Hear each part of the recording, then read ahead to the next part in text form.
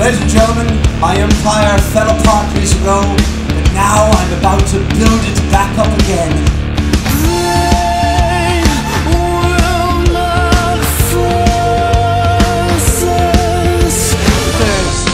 Take Manhattan.